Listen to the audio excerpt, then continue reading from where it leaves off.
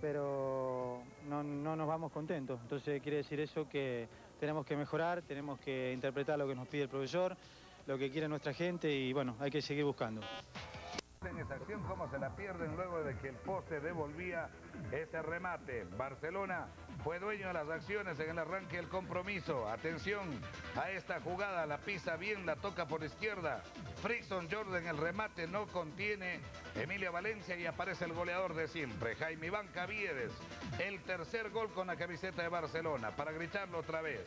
Un gol que le vale tres puntos al equipo canario que se ubica segundo en la tabla de posiciones. Caviedes, el hombre gol de Barcelona, para la victoria frente al Cuenca por la mínima diferencia.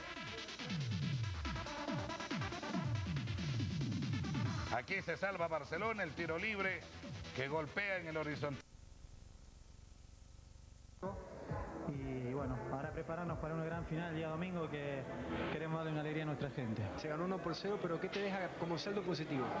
Los tres puntos, este, como te dije, el equipo está mejorando, así que de local este, nos falta este, mucho más, pero como te dije, viene ahora este clásico, sumamos, que era lo importante, y, ya aspiramos a, hacer un buen partido. La conexión con Dalo y con Álvarez, ¿cómo te deja para resultados?